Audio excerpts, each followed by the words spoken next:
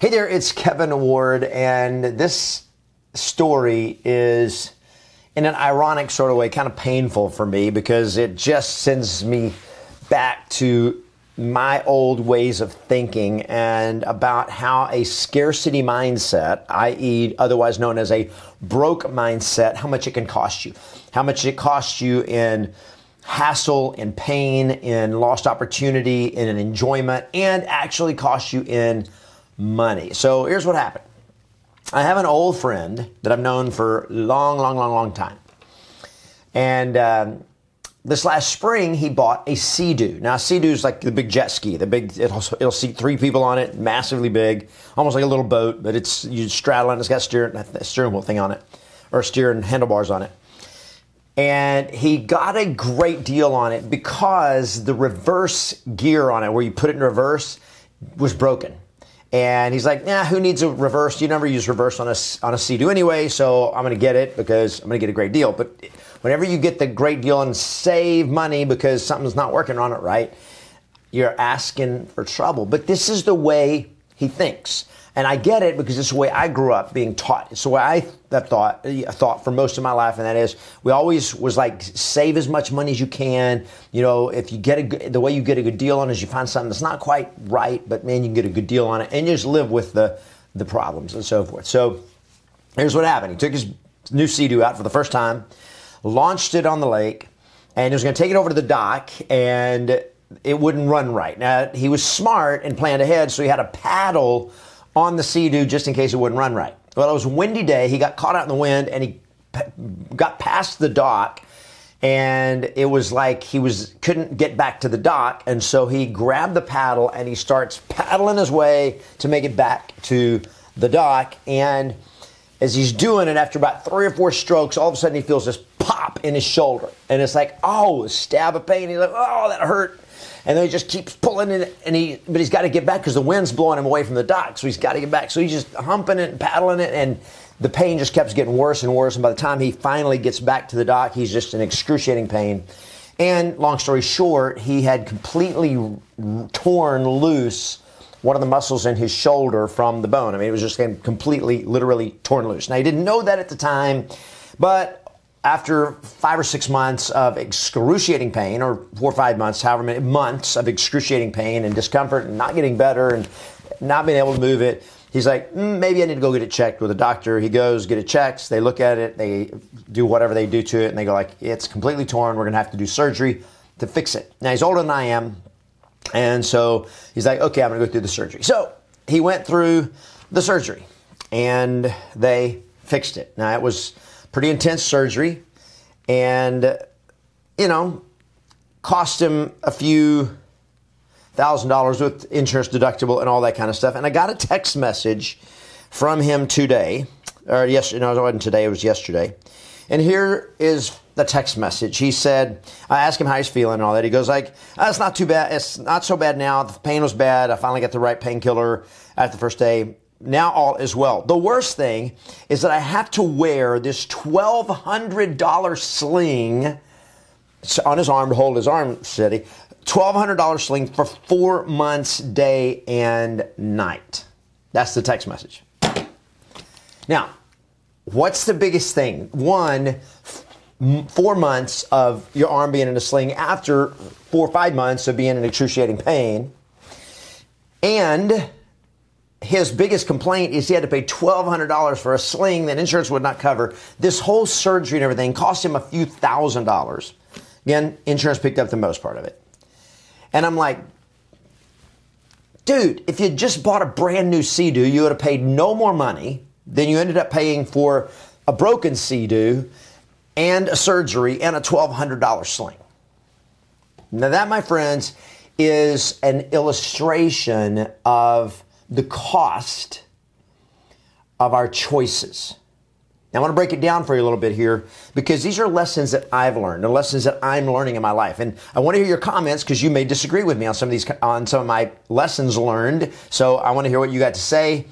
And everything's happened to you like this. If you've ever made this kind of a decision to save money and it ended up backfiring and costing you more money. But the thing is, it didn't just cost you more money, it actually cost dad more. It uh, actually cost him more in time, it cost him more in pain, it cost him more in all kinds of stuff. So I just here's the lessons I'm taking out of this. Number one is choices have consequences. Our choices have consequences. The choices that we make have consequences in our lives. And we make a choice that we made to save money, and then all of a sudden this it creates this other things. Now, here's the thing that he didn't just make the choice to save money. He also made the choice on a day in, day out basis. He never exercises. He's not in shape. And so when he grabs a paddle and all of a sudden tries this hard pull in the water with this several hundred pound or may, I don't know however heavy it is this this uh, sea-doo and the wind's blowing against you and all of a sudden you start pulling is that hard? You put strain on muscles that are not conditioned for that and guess what? Something's going to break and that's what happened.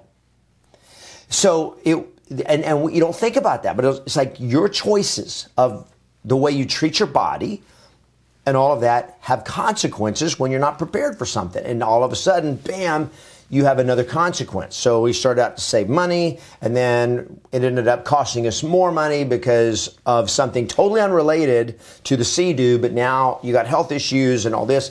And it's not just the cost uh, of money, financial cost, it's also the cost in quality of life. It's the cost of having to endure and suffer pain for months and then not being able to use your arm for another four months because it's in a sling night and day. So, one lesson learned choices have consequences. Not just a choice of what to buy, but choices of decisions we make about how we take care of our body and take care of anything. We take the way we take care of our money, the way we take care of our stuff. Second lesson that I take away from this, and that is I remember something Zig Ziglar said years ago. And he said, when you when you invest in the best, you only suffer once. and what he meant by that, when you go to buy something, buy the best. Buy something that will last. Buy something that works right. Buy something brand new because it's more painful up front if you have to pay more money for it, but you'll only have to be in pain one time, and that is when you have to part with all that money, and it's like, ah, this is more expensive than I thought.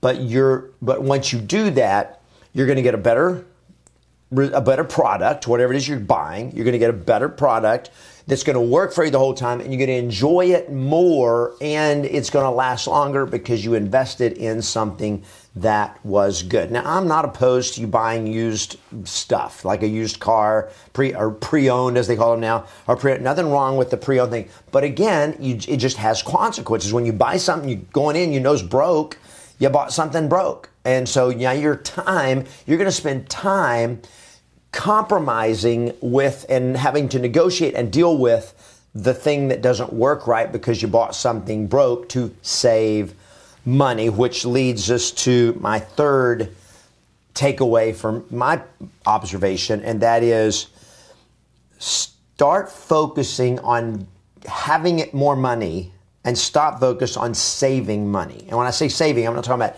putting money in savings. I'm talking about buying stuff, cheap stuff, so that I don't spend as much money. So I just saved $1,000 by buying this used thing that was broken. Okay? Focus on making more money, not saving more money. Raise your income and you save time and money. See, think look back. If he had if he had taken and bought the best, invested in the best, bought a brand new Sea-Doo, then chances are, one, he had never had to have a paddle on that boat. And because it would have been a new boat and it would work. And he would be able to go out, enjoy it. And from day one, he'd be able to enjoy it more, spend more time. He would not have injured himself, would not have had to have surgery, and all of that stuff.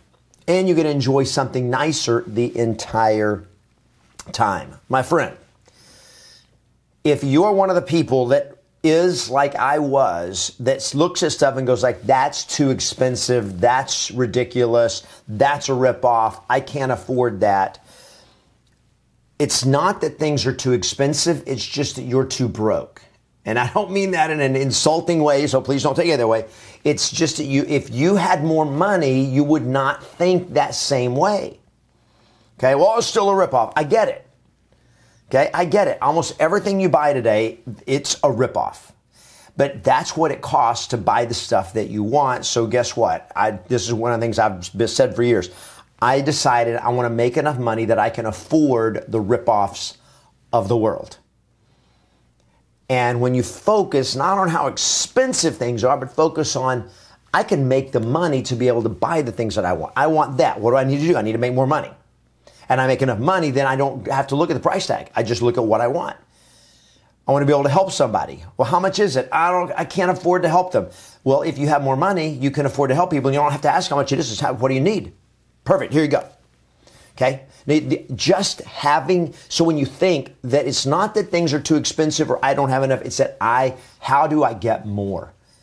And this shift is from a scarcity mindset of there's not enough, I can't afford it, that's too expensive, to an abundance mindset that says, what do I want? What do I need to do to get that? How do I make more money? Because all of the, all you, when you ask those questions, you find the right answers for that. A scarcity mindset, my friend, is costing you. It's costing you opportunity. It's costing you time. It's costing you grief. It's costing you frustration. And it's costing you enjoyment. Abundant mindset. In every market, in every economy, in every time, an abundance mindset will lead to an abundant lifestyle. I want to hear your thoughts. I know this is a one of those sensitive conversations. We talk about having money, making money, making a lot of money, having a lot of money, and all that kind of stuff. So I want to hear your thoughts. But I just want to look at how different a life can be when you come from a place of abundance rather than a place of scarcity. If you like the video, give it a thumbs up. If you like the channel and you're new here, make sure you subscribe to the channel for most of the time it's real estate training, but sometimes I just go like, you know what? I think I need to talk about life and winning. So I hope the video has been helpful for you. We'll talk soon.